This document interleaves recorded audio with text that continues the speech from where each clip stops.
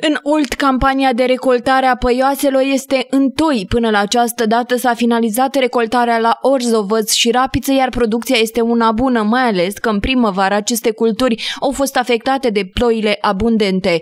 În mai multe părți a fost înregistrat fenomenul de băltire, lucru ce se sesizează în cantitatea obținută, dar nu și în calitate. Astfel, anul acesta în Olt am obținut de pe o suprafață cultivată cu orz de 14.500 de hectare peste 63.000 de tone, ceea ce înseamnă aproape 5 kg de orz la hectar. La Rapiță producția a fost mai mică din cauza că răsărirea a fost afectată de fenomenele meteo.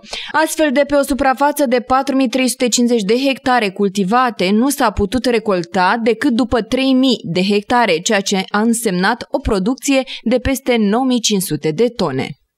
La orz uh, am avut uh, tot la fel o producție destul de bună, în jurul, uh, în jurul de cantității de 4500 de kilograme pe hectar.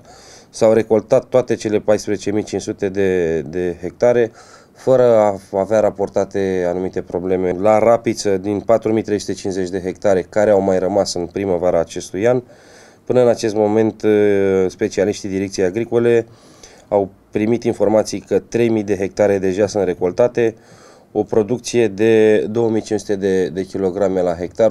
La grâu a început campania de 3 săptămâni, deși specialiștii nu se așteptau la producții record, în schimb acolo unde s-a recoltat, grâul obținut este de o calitate superioară.